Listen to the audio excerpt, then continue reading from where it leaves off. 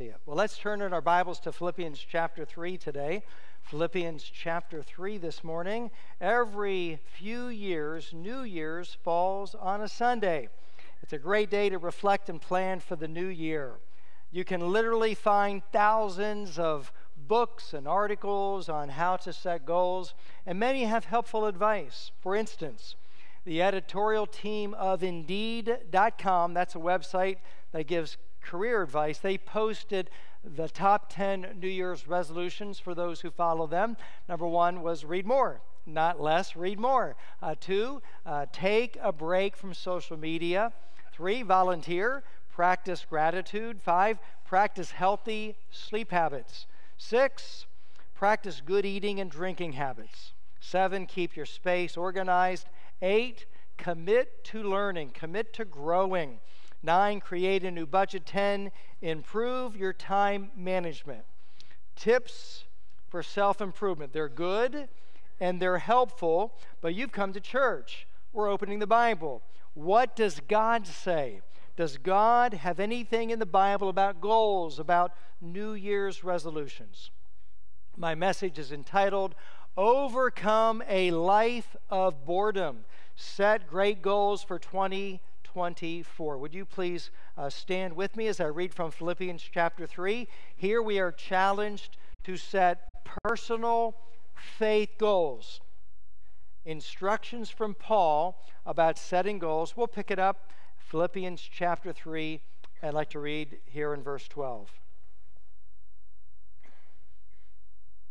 Not as though I had already attained, either were already perfect but I follow after, if that I may apprehend that for which also I am apprehended of Christ Jesus. Brethren, I count not myself to have apprehended. I'm not perfect, but this one thing I do, forgetting those things which are behind and reaching forth unto those things which are before. I press toward the mark for the prize of the high calling of God in Christ Jesus. May we pray together. Father, thank you for your word. Thank you for your spirit. And I thank you for your people that have gathered on your day in this place to worship you, to love you, to please you, to serve you, to hear from heaven. I pray that we will be challenged from your word of how we can plan and prepare uh, the goals and values for this coming year. May you guide us, may you lead us. If there be one and they're just not certain of where they'll spend eternity when they die, draw them to yourself to receive the ultimate gift of salvation today.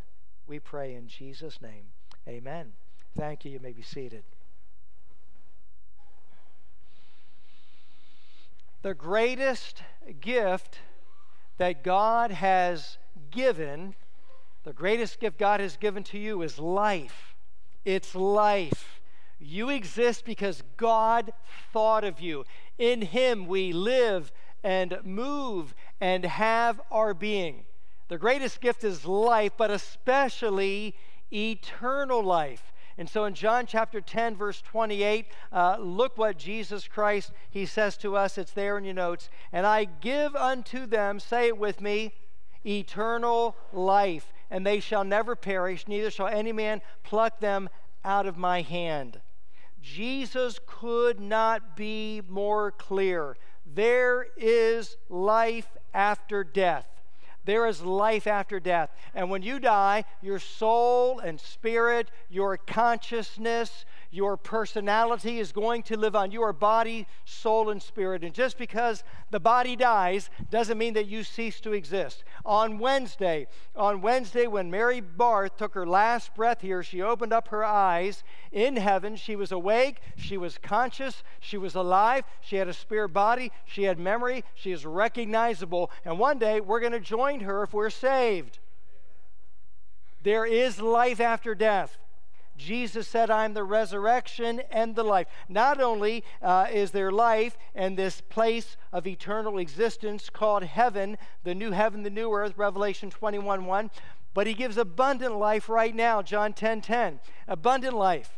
That means that our life right now is full and overflowing with joy and peace and love and goodness. This is what Jesus Christ gives to us.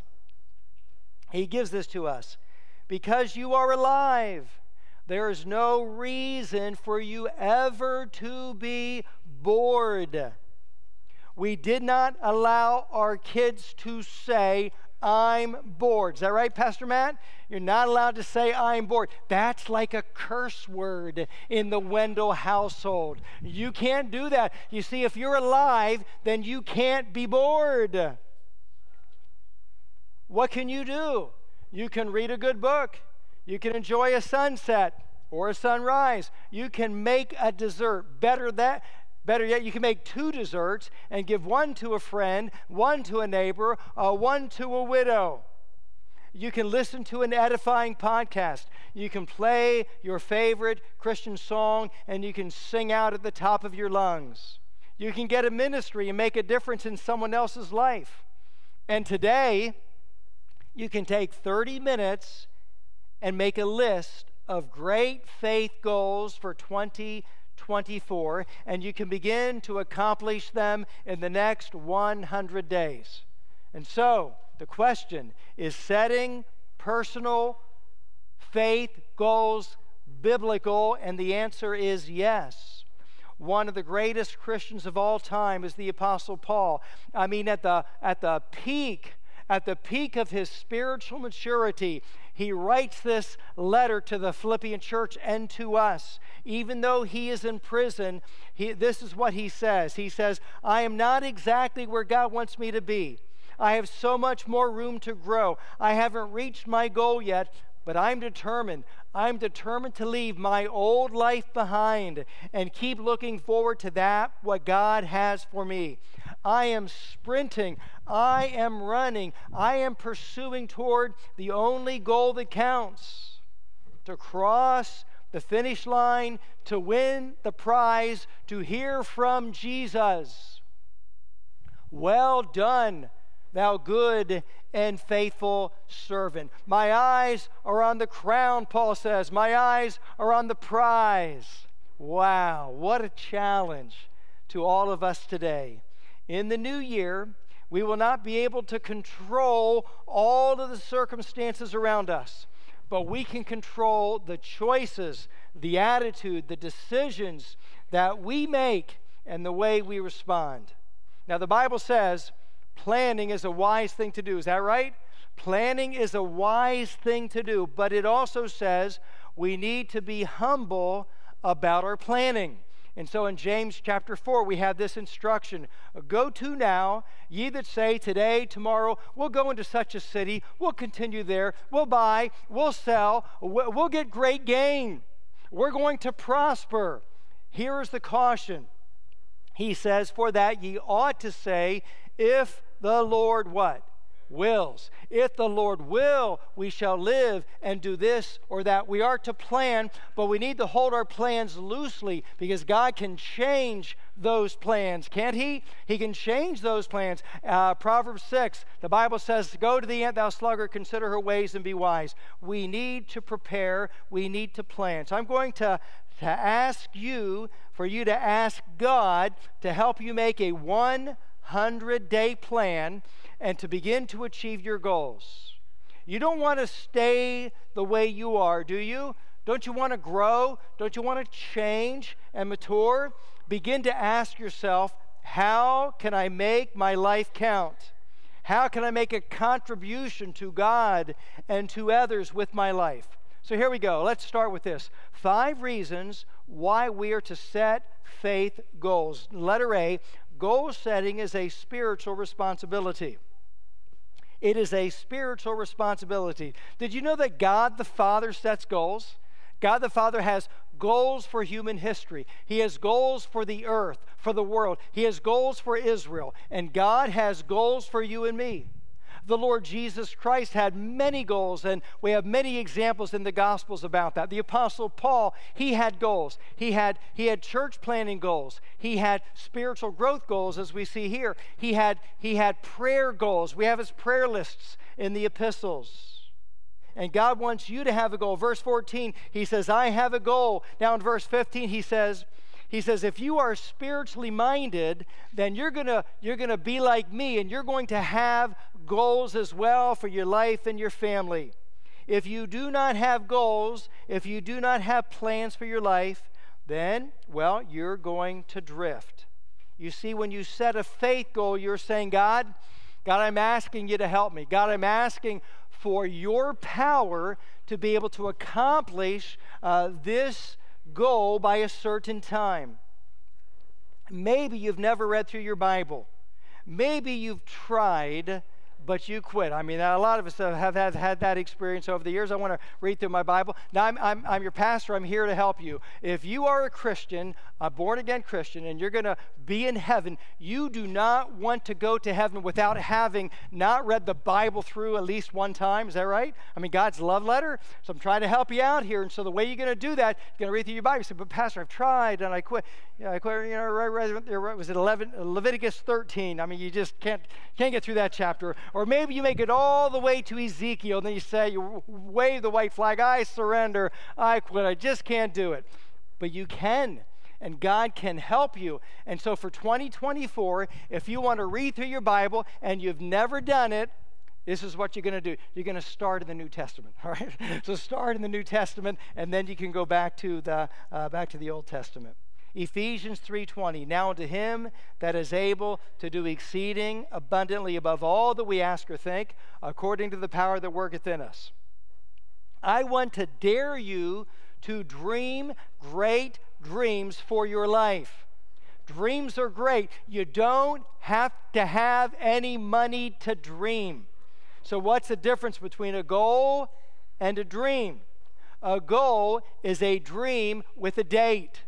If you don't put a deadline on your dream, it's just a dream. But when you give it a date, you make it a goal. Don't expect anything big to happen in your life until you set a faith goal. And so, in a few minutes, we're going to talk about your 100 day goals. The most important question about your goal is this you ask this question Will this goal require me to have faith in God? Will it require me to have faith in God? In your notes, if you can do it in your own power, that's not a faith goal. Another reason to have a faith goal is goals focus my energy.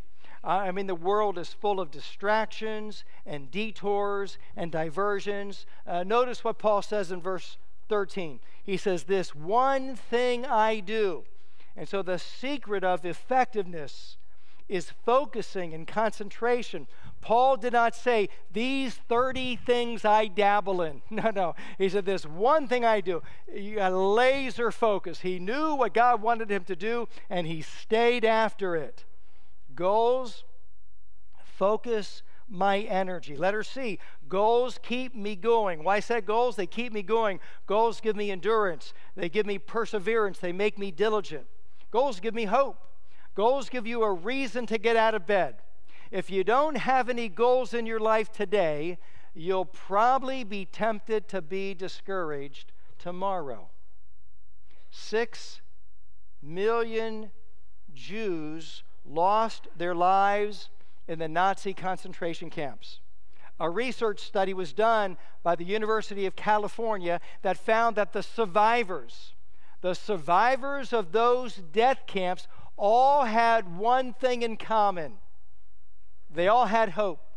They had something to look forward to, they had a goal. The study is entitled, And the Ones That Survived Had Hope Resilience in Holocaust Survivors. Those who survived had a goal in their life. A goal keeps you from being discouraged when setbacks come. Can I tell you right now? In 2024, you're going to have some setbacks. I mean, some things are not going to go your way. You're going to make a plan and it's going to change. You're going to want to do this and it's not going to happen. There's going to be problems. Setbacks will come in 2024. Everyone has setbacks. I mean, no one goes from success, success, success, success. That's just not life. And so when the setbacks come, your goals will give you endurance and hope. Your goals will keep you from discouragement when the setbacks come. Uh, and so here we go. It's important to set these new goals. If you are discouraged right now, you need to set new goals. Letter D goals build my character.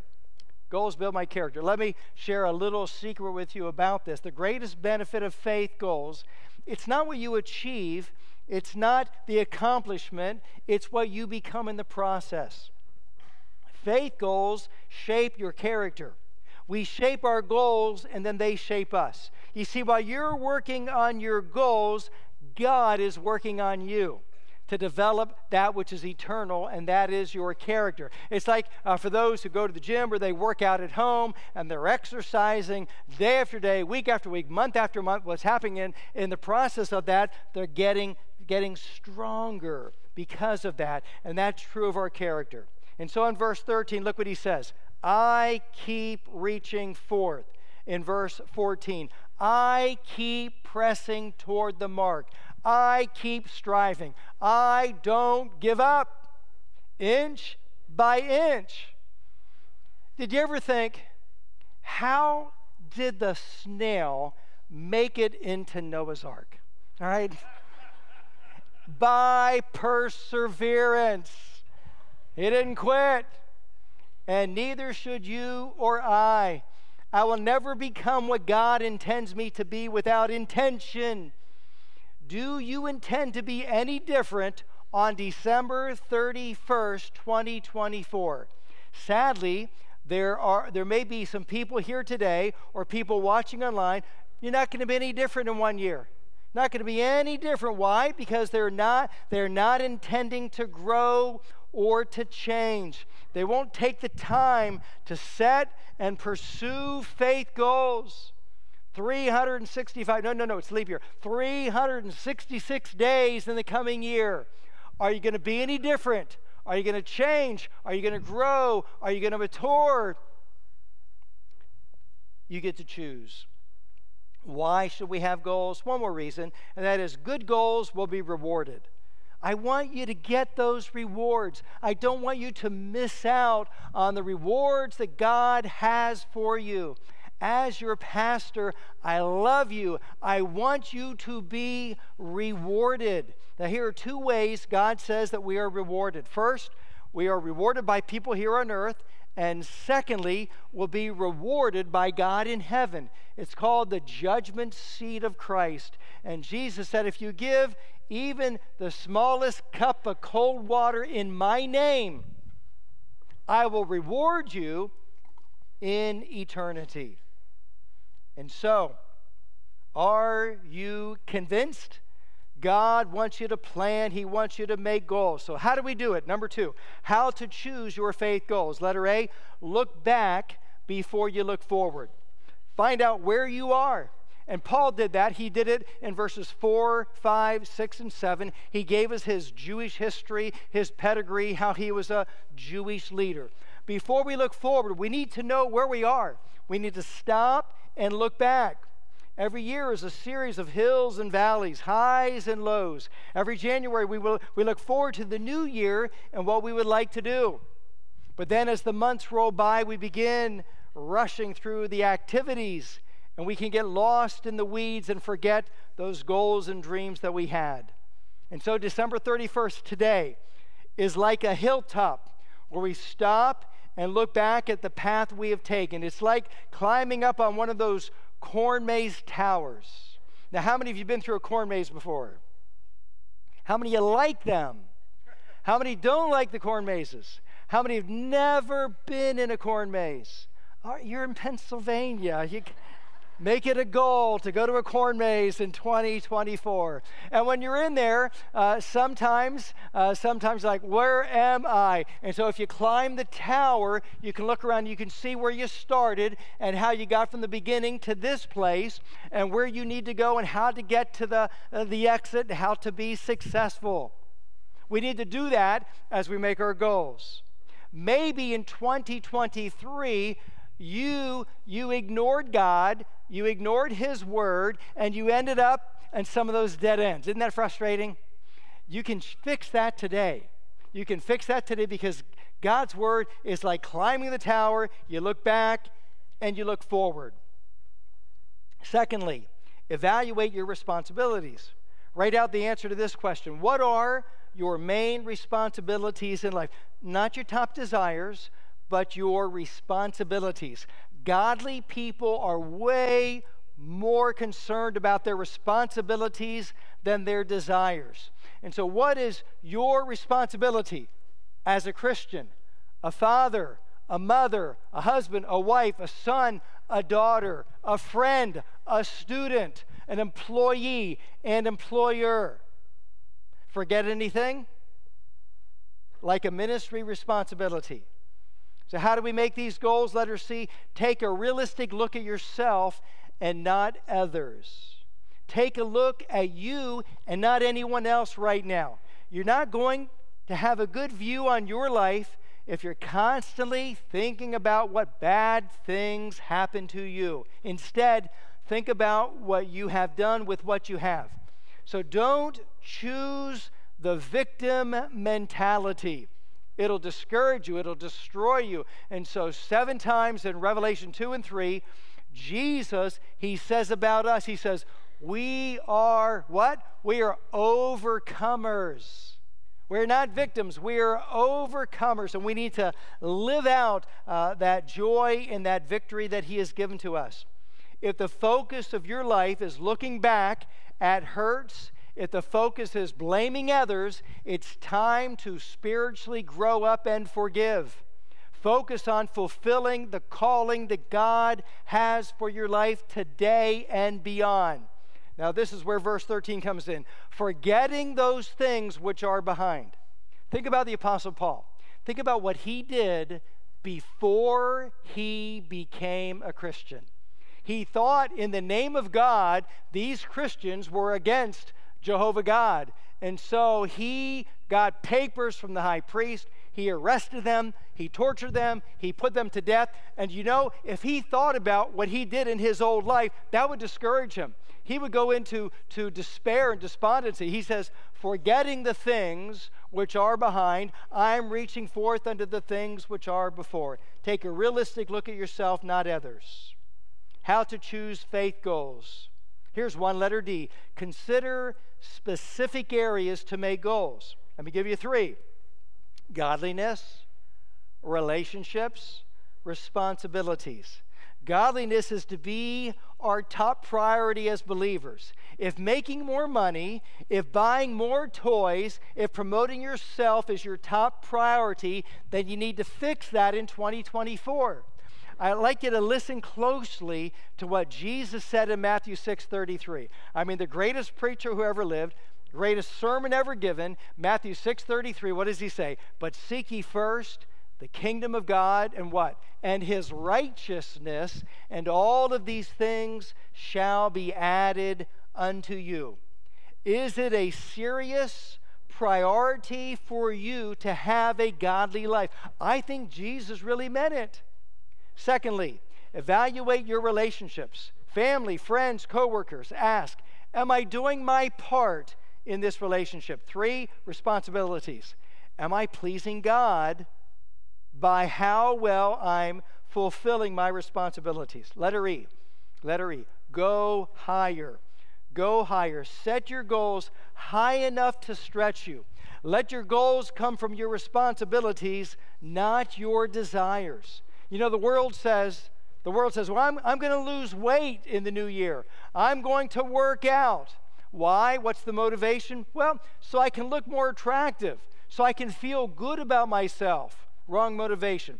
How about how about a right motivation? How about you go and exercise so you can serve the Lord better? How about you take care of yourself so that you can take care of the people around you so they don't have to take care of you prematurely? Uh, how about so you have a better energy level to give to your spouse and your family and your church family and friends?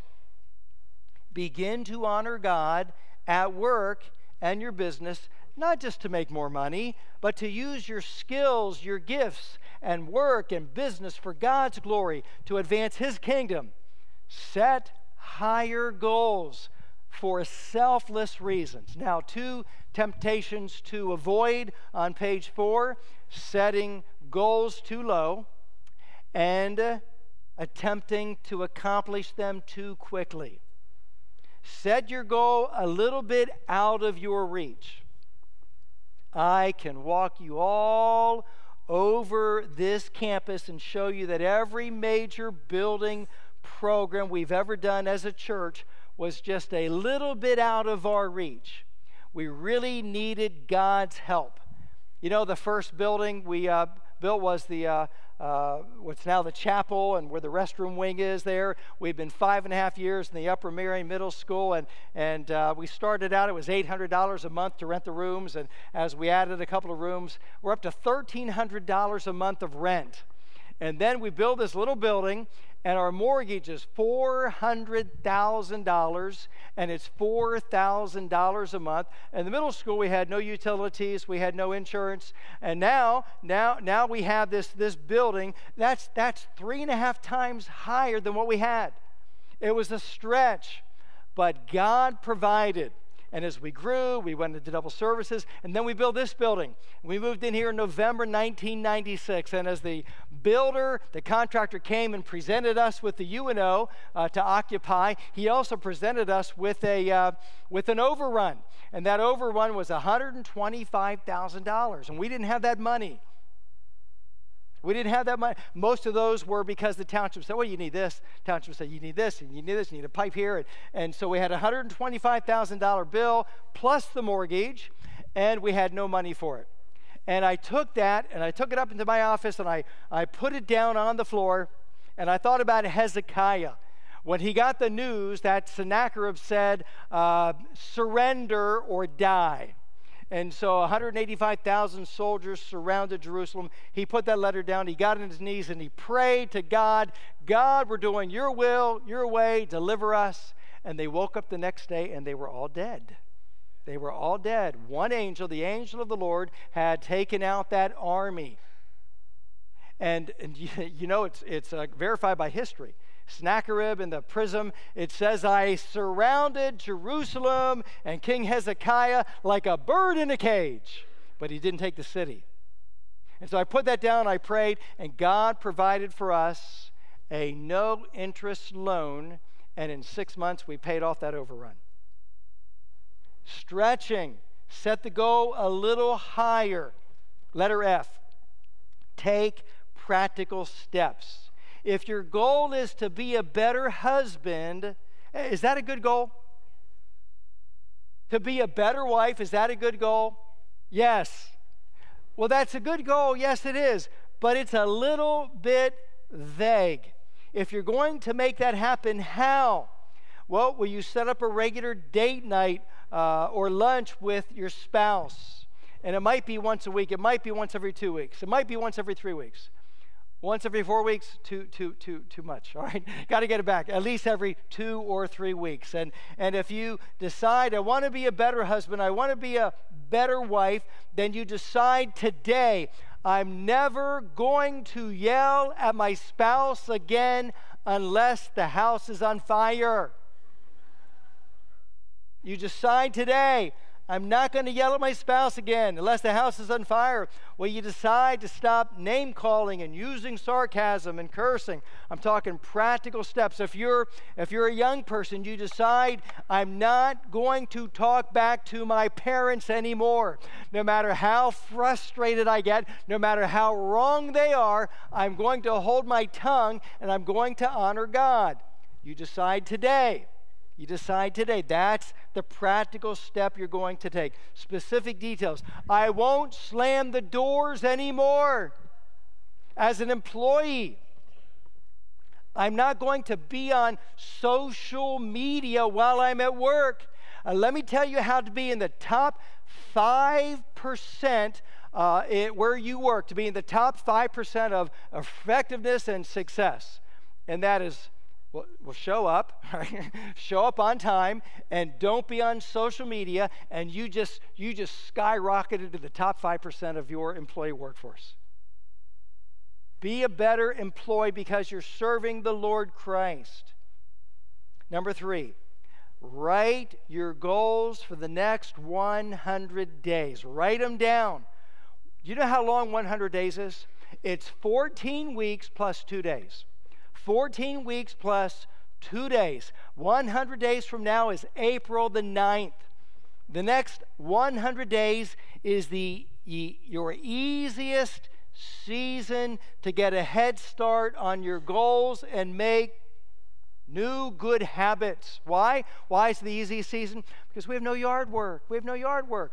That's why I personally don't live in Florida. Who wants to mow the grass 52 weeks a year? Not me.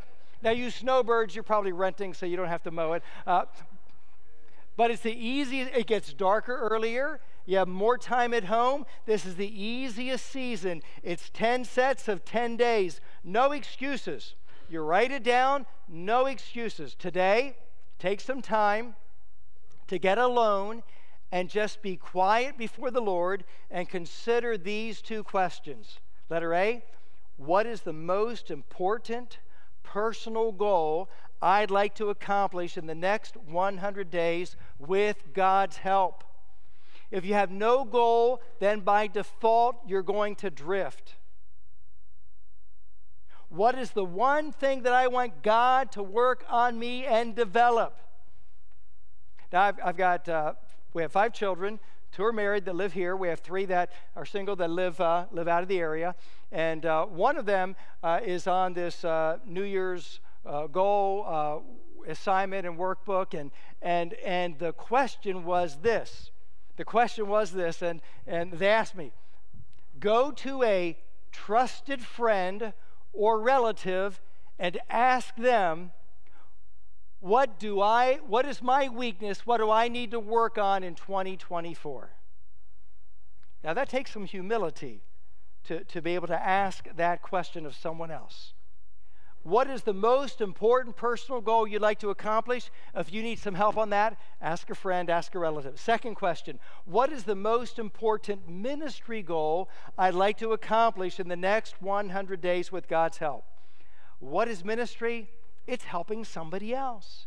I, I don't just want to have a self centered goal, I want to have a goal to help somebody else. Anytime you help anybody in the name of Jesus, that's called ministry. We're called to ministry. We're not here on this earth just to help ourselves. God put us here to help other people. Do you have a, you have a ministry? You say, oh, but Pastor, you know, I, I, I don't. I, I actually filled out of a card one time, but nobody contacted me, so I guess I don't, I'm not needed. No, no, no, no. Well, nobody asked me. Okay, I'm asking you today. I'm asking you today. You say, I don't know what to do. Well, just cross the hallway, and there's a nursery in there, and talk to Andrea Johnson. Leave her a note and say, Hey, uh, I, I want to help out. Or see Pastor Anthony. I want to help out with the kids. Or Brother Dan, I want to sing in the choir. Uh, uh, Brother Lou, you, I want to work on outreach. Whatever you want to do, God will have a place for you to do it, but you have to make the step forward. So write down your goals, not for the rest of your life, just the next 100 days, 10 days for 10 times then share your 100 day goals with a family member or a trusted friend. Encourage others as we work and strive together for Christ. How do we do this? How can you accomplish your spiritual goals for 2024? God has given you His Word, God has given you His Spirit, God has given you His people to help and encourage you. Iron sharpens iron. We're to edify one another, we're to help one another. Turn over a page, chapter 4, verse 13. Look what he says. He says, I can do all things through Christ which strengtheneth me. Now, clearly, that's in the will of God. I can do all things through Christ. There in your notes, God's power is literally only available to those who receive Jesus Christ as their Lord and Savior. If you want God's help, you need to know God. If you're tired of living life apart from God, if you're tired of living life apart from God's power, today you can receive Jesus Christ as your Lord and Savior. How do you do that? You call on the name of the Lord, Romans 10 13. Now, if you would take out that second handout I gave to you today, my personal goals for 2024. If you don't have it, you can go to scottwendal.com. It's been posted there. You can copy it, you can pr- print it out. If you aim at nothing, you will hit it every time. Four areas to set goals spiritual, family, personal, career. I'm making it as easy as possible for you to add to it. I'll be faithful to God and uh, uh, to maintain a God night time. Choose a Bible plan. Maybe it's to read through the Bible. Maybe you've done that a few times. Maybe it's, well, I'm going to read through my New Testament. Maybe you're going to read the New Testament four times. You seek to be a witness daily. You seek to discover your gifts and abilities to serve God faithfully. We'll talk about, about that in the new year. I'll give tithes and offerings to the Lord. You write down a spiritual goal for yourself. It might be some sin or bad habit you want to conquer. You write it down there with God's help. You will say, you know, I'm going to be in God's house every Sunday celebrating that Jesus Christ is alive from the dead. He rose on a Sunday. He commands us to gather together to worship Him on a Sunday. Unless you're out of town and unless you're sick, make it your goal to be in God's house. Now, if you're sick, please stay home. Did I get an amen on that? Amen. If you're sick, stay home. But if you're not sick and you're not out of town, we gather together to worship Jesus and we praise God that He is alive. This is a greater event than the creation of the world. Corporate worship moved from Saturday, the Sabbath, to Sunday as we celebrate He is alive. Family goals, personal goals. I will lose blank number of pounds by blank. I will exercise so many times a week. I'll read Christian books. Now, I've been transparent with you. I've been transparent with you. The last two years, we got to this place. I told you that I needed to lose some weight, and that was my goal, and I lost the weight. And then I found it. And then that I lost it again. And I, uh, I want you to know that, that uh, uh, this year's a good one, all right? So, uh, all right. Uh, personal goals, career goals. You get alone with God you ask God and then you listen. You listen. You let the Spirit of God prompt you and guide you. You can overcome a life of boredom because you have great spiritual goals for 2024. Let's pray. Father, thank you for our time in your house and in your word. Thank you for the power of the word of God, the practicality to help us in our daily lives. Your scripture, your truth is so wonderful. It is the living water, it is the bread of life. Our heads about as we come into God's presence. I want to ask you this question. If you died today, do you know for certain that when it's your turn to step out of this life, that you will enter God's presence because you have been saved? You are born again. You made a decision to follow Jesus Christ. Uh, I'm not asking you if you if you do sacraments, if you go to church, if you're sincere. I'm not asking if you've been baptized. I'm asking, are you saved? Do you have a living relationship with the living God? Do you have assurance that heaven's your home? If that is your testimony, would you raise your hand all over our congregation today? Yes, Pastor, I've been saved. You may put your hands down. You say, Pastor, I, I think I'm saved. I, I hope I'm saved. But I have doubt. I'm not sure. Maybe you just raised your hand, but in your heart of hearts, you have doubt. God brought you here today to hear the good news that salvation is a gift, not found in baptism. say, but Pastor, I, I, do the best I can. I keep the Ten Commandments. I go to church. I give money. I help others. Good works are good, but they do not wash away sin. Only Jesus can wash away sin. And that's why the angel announced at his birth For unto you is born this day a Savior, and he shall save his people from their sin. And so today, if you sense the Spirit of God tugging at your heart, say yes. Say yes. Believe that Jesus is God's Son. Believe that He died for you. Believe that He rose again and receive the gift. You ask, How do I receive that gift? The Bible says it's by faith. It's a choice, it's a commitment, it's a choice to believe that Jesus loves you, that He died for you. This is not a process. This doesn't happen over a period of months or years. It's a moment in time where you turn to Him and receive Him. If you'd like to do that today, you can. You can call on the name of the Lord. You say, What do I pray? Romans 10 9 and 10. If you confess with your mouth that God has raised him from the dead, thou shalt be saved. Would you pray with me now? If that's you, I'm not asking you to get baptized or join the church. I'm asking you to take a step to Christ, to receive him as your own. Pray with me now. Dear Lord, I know that I am a sinner. I ask you to forgive me of all of my sin. I believe Jesus is the Son of God. I believe that He died for me and rose again. Please come into my heart and become my Lord and Savior. I turn from sin to Christ. Please save me today. Our heads are bowed, our eyes are closed as we show respect to our neighbor.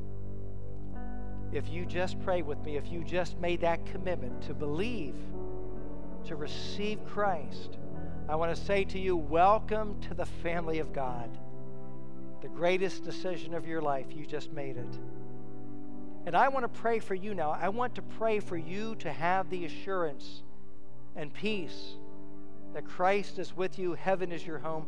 The Bible says His Spirit, His Holy Spirit, bears witness with our spirit that we are the sons and daughters of God. May, may, I pray for you? If you just prayed, if you just called upon the Lord, would you simply raise your hand? Would you hold it up high for just a moment? I want to pray for you.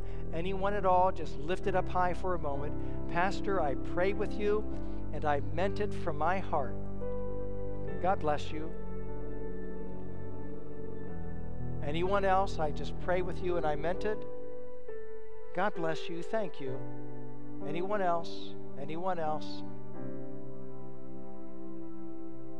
Now, Father, I pray for these that have opened their heart to you. I pray that they will sense and claim your promise of assurance in their life to know they belong to you.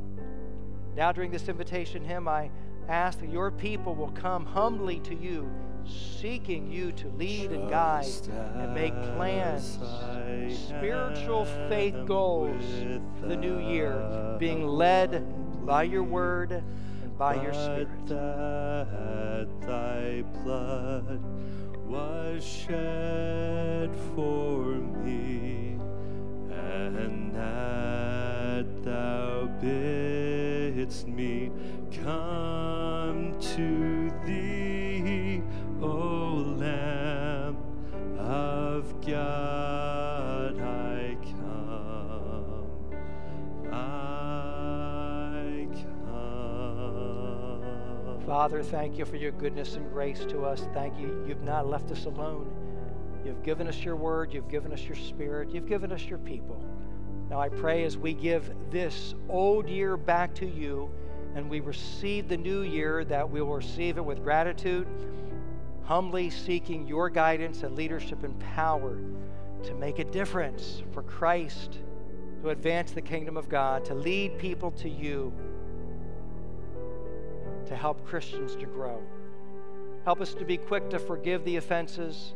Help us to be quick to help those in need. We ask in Jesus' name. Amen.